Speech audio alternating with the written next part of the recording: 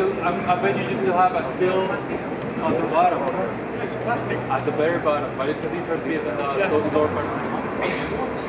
Just This is like an underbody shield. Careful. Sorry.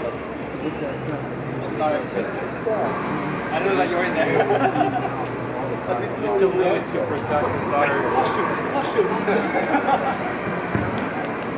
Shoot up. They got a lot more money than